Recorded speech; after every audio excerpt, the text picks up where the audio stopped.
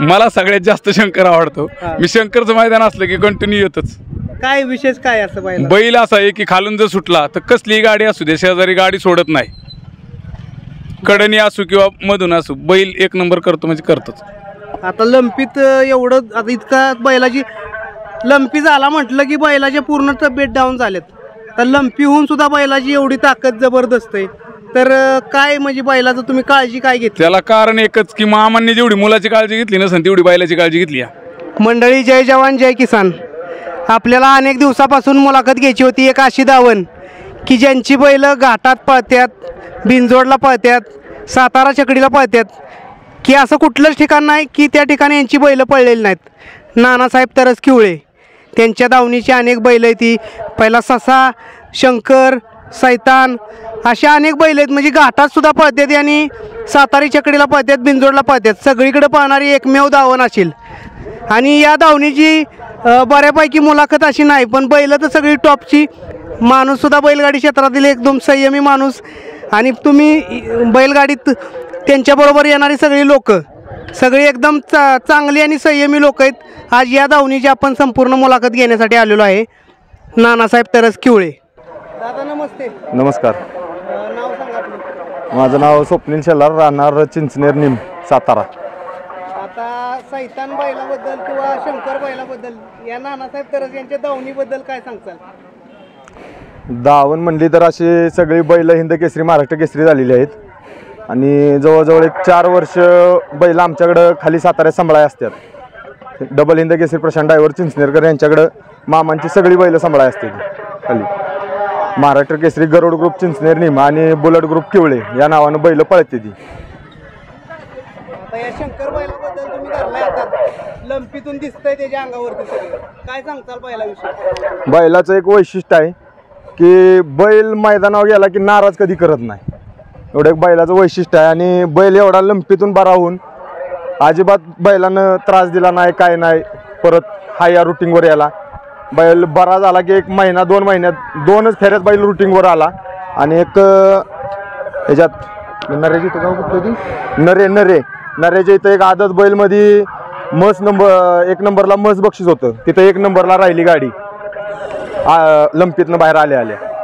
बैलाची काय विशेष खासियत? खासियत म्हणजे बैल तसा प्रेमळ आहे आणि बैलाला सगळं म्हणजे सगळं समजतं. शहाणा बैल. वय किती असेल? त्याचं वय? बैलाचं वयला सहा एक वर्ष असेल सहा सात वर्ष. आ- आपण अ, न- मामांची बैल तर प्रत्येक ठिकाणी बघत असतो. म्हणजे त्यांचं नाव नानासाहेब तरच पण प्रेमानं सगळी मामा म्हणते ती. आणि मामा आपल्या बरोबर मामा बोलायला लाजतात. मामांच्या दावणीला आता किती बैल आहेत? सध्या? आता पाच बैल आहेत आणि सगळी जातीवंत बैल आहे ती. आणि मामांच्या तर्फे आता दादा तुमचं नाव? माझं नाव निखिल. हां. काय सांगताल या दावणीविषयी किंवा या बैलगाडी क्षेत्राविषयी? या बैलगाडी क्षेत्राविषयी सांगायचं झालं तर आमच्या मामांनी जसा स्वतःच्या मुलाचा सांभाळ करतात. त्या प्रकारे या सगळ्या बैलांचा ते आजपर्यंत सांभाळ करत आले. तसाच इथून पुढेही करतील कारण की इथून पुढेही भरपूर मोठी मोठी मैदानं चा मैदानांमध्ये नंबर घ्यायची खूप इच्छा आहे आपली. इथून पुढे इथं मा इथून मागही झाले तिथून पुढेही होतील. त्याचबरोबर आता थोडं अनेक बैल आहे ती. शंकर आहे सैतान आहे. बैलांविषयी काय सांगताल किंवा घरी असणाऱ्या बैलांविषयी काय सांगताल? सगळीच बैल चांगली आहेत. विशेष सांगा एखाद्या बैलाविषयी बाबा. आता शंकर विषयी काय वाटतंय तुम्हाला? शंकर हा बैल चांगला आहे. हा. तो मैदानात पळत असताना त्याला कोणतीही गाडी तो खिटून घेत नाही. गाडी पुढे जाऊन देतच नाही. नाही देत. बघा तुम्ही इथं शंकर आहे लंपीत बैल इतका तुम्ही आत्ता बघू शकताय जवळून लंपीमध्ये एवढा बैल एवढ्या फोड्या अंगावर त्याच्या उठलेत. तरी पण बैल आज या मैदानात गट काढला. एकदम चांगल्या कडच्या तासानं गट काढला. जबरदस्त बैल आहे पलीकडं सैतान बांधलेला आहे. सैतानसुद्धा दोन वेळा पुशेगावला हिंद केसरी झालेला आहे किंवा अनेक मैदानं अशी गाजवलीत. आणि माझ्या मते बालमाबरोबर सगळ्यात जास्त पाहणारा बैल म्हणजे सैतान आहे. कारण ब बालमा हरणागत उडी दे उडी घेत पाहणारा बैल आहे. या बैलाबरोबर सगळ्यात जास्त गुलाल माझ्या मते सैतानचा असतील बालमाबरोबर. आणि त्याच प प्रमाणे शंकर आहे. शंकर हा अनेक दिवसापासून पळतोय. आणि त्यांच्या घरी अजून बैल आहेत दुसरी. त्या बैलांविषयी सुद्धा थोडं जाणून घेऊया आपण दादांकडून. बोला नमस्ते. सांगा काय दावणीबद्दल सांगचाल काय? मामांच्या दावणीला ससा शंकर सैतान बुलट हा. चार पाच बैल आहेत. आता घाटात बी पळतात असं आम्हाला समजलं. घाटात पळतात आ, पुन्हा आणखीन अ, सेकंद घाटला पळतात सेकंदाला पण पळतात सेकंद घाटची कुठली प- कुठली का ही पळतात सैतान पळतो किंवा कुठली? शंकर शंकर पळतो परत बुलट पळतो. हा. तिकडची काय किती बक्षीस असतील? तिकडची आता अशी सांगू शकत नाही किती बक्षीस पण चांगली बक्षीस आहेत हा. आणि बाकी फायनल किती झाला असतील बैलांचा आतापर्यंत? आत्तापर्यंत सांगू शकत नाही. सैतान गेल्या वर्षी कंटिन्यू फायनल आहे. शंकर पण चांगल्या चांगल्या ठिकाणी फायनल आत्ताच अं, लंपी रोगातनं उठून शंकरनी एक नंबरचं बक्षीस केलं.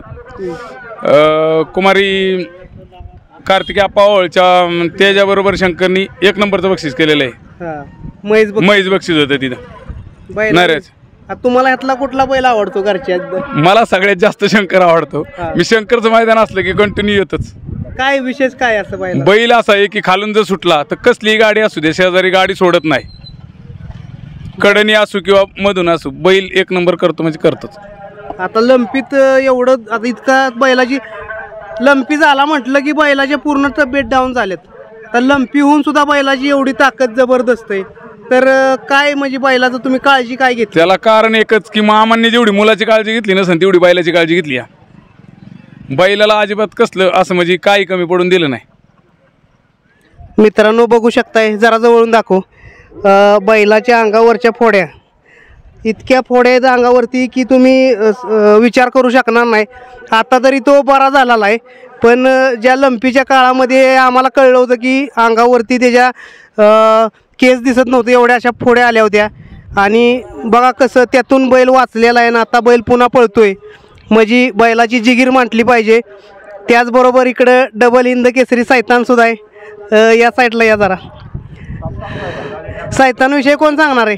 जास्त बघा तुम्हाला म्हटलं बालमा तसंच बालमाचा हा भाव आहे. एकाच दावणीची दोन्ही बैल सैतान सुद्धा अनेक मैदानात राहिलेला आहे अनेक मैदानाचा हिंद केसरी झालेला आहे. तर अशा दावणीची आज आपल्याला मुलाखत बघायला भेटली. एकदम सुंदर आणि देखणी दावण आहे.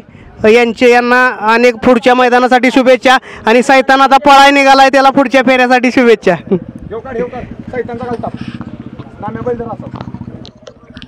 खाली. तो पहिलं. बघा आत्ता फेरा पळून आलाय. पण बैला जी म्हणतात ना बैलाच्या अंगात दमक आणि रग लागती. आत्ता फेरा पळून आलाय तरी पण बैल उकारतोय का नाही?